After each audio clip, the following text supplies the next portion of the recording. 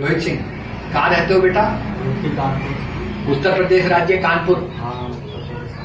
क्या परेशानी आपको बेटा? नावी की समस्या आप तो बता रहे चार पाँच साल चार साल साढ़े तीन साल पहले आए थे। चार साल पहले आए थे तो गए थे तो आराम मिला था पहले लखनऊ रहते थे? हाँ पहले लखनऊ रहते थे फिर बाद में कानपुर अब कानपुर शिफ्ट हो गए उत्तर प्रदेश में ही राज्य हाँ, है योगी आदित्यनाथ जी का। हाँ। तो आप जब चार साल पहले पहन गए थे तो आपकी तबीयत कैसी रही?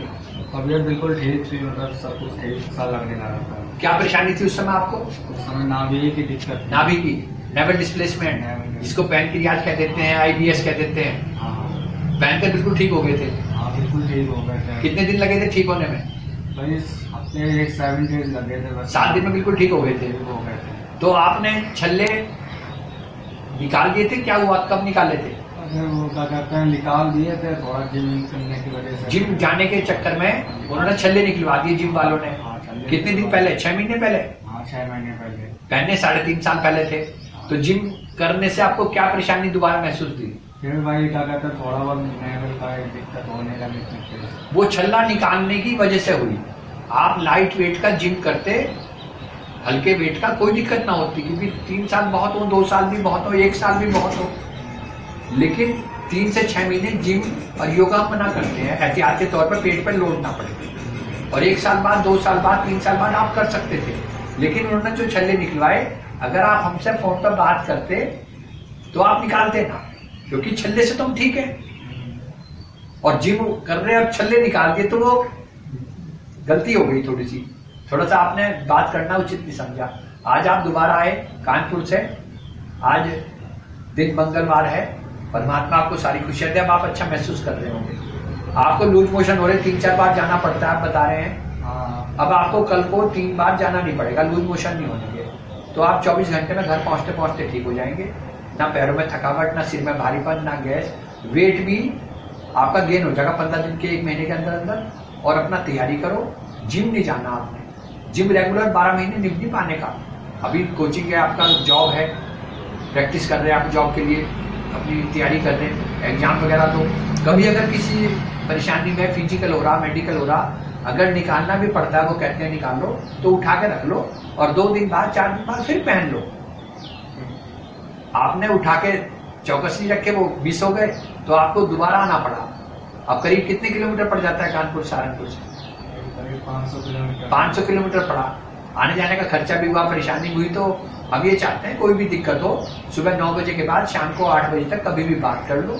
हम बाइक पोस्ट भी भेजते हैं, बाइक कोरियर भी भेजते हैं, विदेश में भी लोग मंगाते हैं, इसी के लिए, नाभि के लिए, जिसको धरण भी कहते हैं नेवल डिस्प्लेसमेंट कहते हैं पैनक्रियाज आईबीएस भी डॉक्टर लोग कहते हैं। मेडिकल में इसकी कोई पढ़ाई, कोई टॉपिक कोई चैप्टर नहीं होता। पूरे वर्ल्ड में इसका कोई इलाज नहीं है। नाभि को कोई नहीं मानता मेडिकल में। जिसने उर्दू पढ़ी नहीं, वो उर्दू क्या पढ़ेगा? जिसने नाभि का कोई टॉपिक पढ़ा नहीं वो मेडिकल में कह देते हैं, कैमरे डाल दिया एंडोस्कोपी कोनोस्कोपी सीटी स्कैन इन्फेक्शन है स्वेलिंग है, पाँच, चार साल बाद कह देते हैं माइंड का इलाज करो, आपको साइकिलिस्ट को दिखाओ भरम है आपको। ये उनका मिस गाइड करने का तरीका है। ये नहीं कहने के वो आपको, हमारे पास इसका इलाज नहीं है। चाहे वो पीजीआई लखनऊ में डॉक्टर है, अपने जीजा हो, चाहे साला हो, चाहे बहनोई हो, चाहे मामा हो, चाहे फादर हो। जब उन्होंने नाभिका को टॉपिक पढ़ा नहीं वो सिर्फ़ मिसगाइड करते हैं, सभी की बात है। कितने पीजीआई चंडीगढ़ है ऑल इंडिया है, सबको मुझे, सब जगह फिर लोग आते हैं आपकी कृपा से। न्यूरोथेरेपी वाले दो दो महीने रखते हैं नशे दबाते हैं पैरों की। एक भी बंदा न्यूरोथेरेपी में ठीक नहीं होता। वो हमारे पास आते हैं, छल्ला पहनने वो कहते हैं, सात दिन में ठीक हो गया। तो वो दूसरे को क्या ठीक करेगा? चाहे दिल्ली है, चाहे काशीपुर है, चाहे कहीं, उत्तराखंड है, चाहे कहीं से भी है।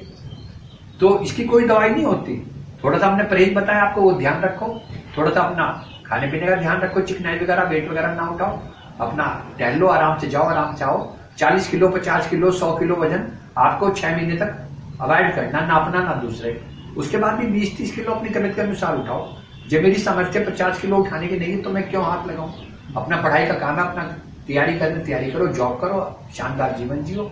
कोई भी दिक्कत हो आर्थोराइटिस हो, गठिया बाय हो, डिश का साइटिका का प्रॉब्लम हो स्पाइनल कोड का। जैसे लोग कहते हैं, नस दबरी, नस ब्लॉक हो रही एक घंटे में पेशेंट हमारी सेवा से ठीक हो जाता है। हमारा तो खुला बोलना है एक घंटे में ठीक हो जाए तो हमारी बात में हो जाए। सर्वाइकल हो बॉडी दर्द हो पैरालिसिस हो गया पैर में लचक है लंग है हाथ में कमज़ोरी है नसों का दर्द है मसल्स का दर्द है जो न्यूरोथेरेपी से भी ठीक ना हो रहा हो एक सेवा का मौका दें। अगर 24 घंटे में एक घंटे में आराम हो रहा तो बड़ी कृपा ईश्वर की ईश्वर का कृपा है परमात्मा की। हल्की एक्सरसाइज और वॉक अपना मॉर्निंग वॉक करो इवनिंग वॉक करो दो दो कच्ची तेल के खाने नहीं खाने। दाल में घी एक चम्मच ऊपर से डाल लो। आपको दूध नहीं पीना आपको लूज मोशन है एक हफ़्ता पंद्रह दिन दस दिन उसके बाद बारह महीने दूध पियो।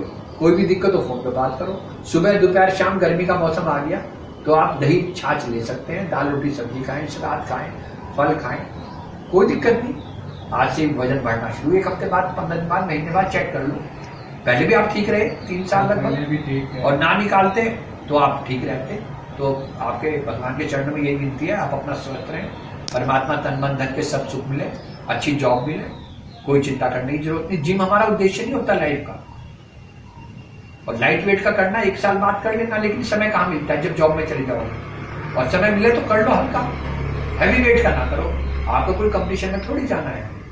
कल को साइटिका की डिश की प्रॉब्लम हो गई हैवी वेट उठाने से हो जाती है। देख रहे आप कई बच्चे हार्ट अटैक से मर गए।